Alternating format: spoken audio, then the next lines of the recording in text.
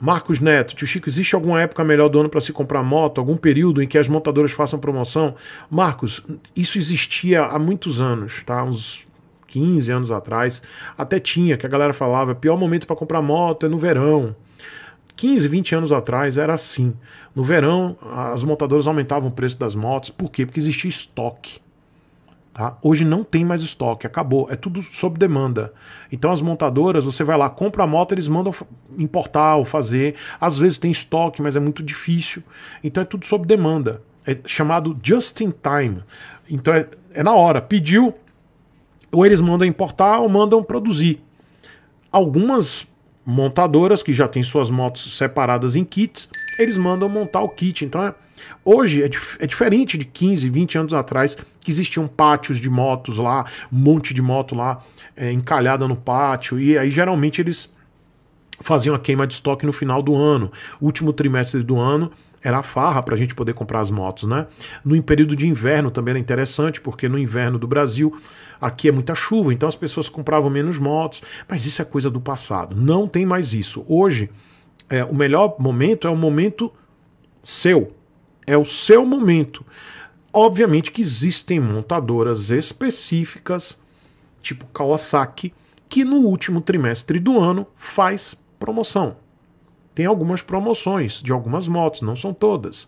Ou eles fazem taxa reduzida ou taxa zero, ou é, bônus, que é desconto, tá? Quando eles botam bônus, é desconto. Então, algumas montadoras fazem promoções pontuais. Kawasaki, BMW, Triumph, são motos mais caras. As montadoras mais populares e as duas, as binárias, elas não fazem promoções mais. Não tem mais isso, tá? Esquece. Por quê? Porque eles geram a escassez. A escassez de motos é artificial. Eles geram isso, ou seja, eles diminuem a produção das motos para gerar uma demanda maior, para exatamente inflacionar as motos, ter pouca moto de oferta para alta demanda. Isso gera uma inflação e os trouxas brasileiros, a maioria do povo brasileiro é trouxa porque entra na fila, paga ágil, paga dinheiro sem saber, bota dinheiro na fila sem saber quando vai pagar, quanto vai pagar e quando vai receber. E sim, eu estou generalizando, a maioria dos brasileiros é trouxa trouxa. No meio motociclístico é trouxa. São emocionados, fugitivos da escola, não sabem fazer conta, não, não sabem conta, não sabem calcular juros, paga qualquer coisa, exige pouco, topa botar o dinheiro para ficar na fila sem saber quanto vai pagar e quando vai receber. Isso inflaciona, isso faz com que as montadoras montem em cima da gente sapateiem na nossa cabeça.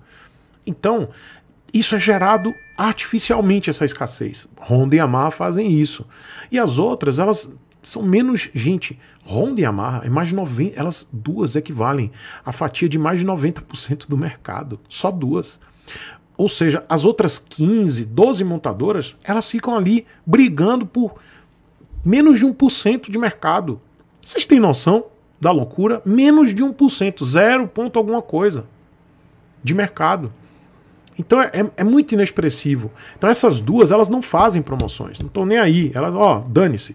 Então, qual é o melhor momento? É o momento de cada um. E aí vem o consumo consciente. As três perguntas que cada um faz a si mesmo. Eu preciso da moto, eu tenho dinheiro para pagar e para manter, eu preciso da moto agora. Se der não, um não. Para qualquer uma das perguntas, independente da ordem, não compre.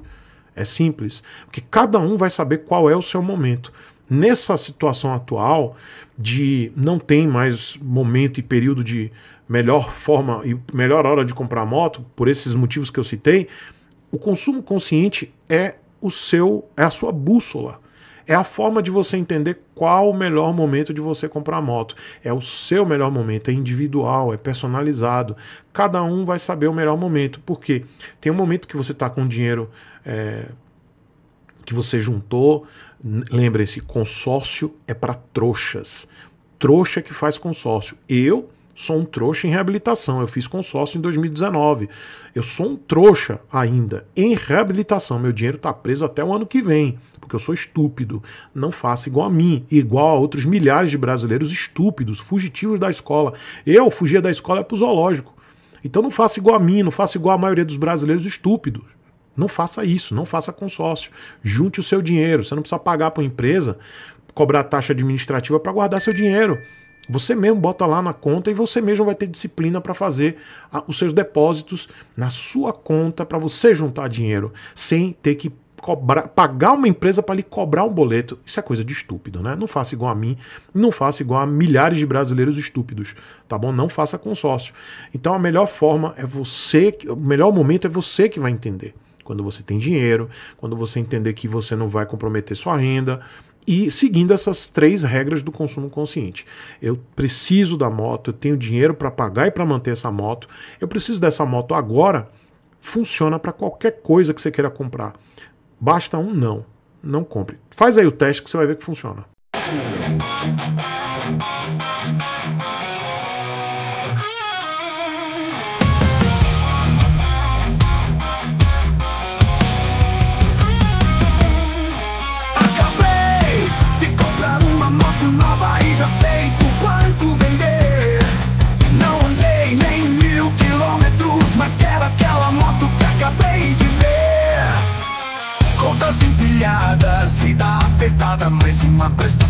Vai vencer.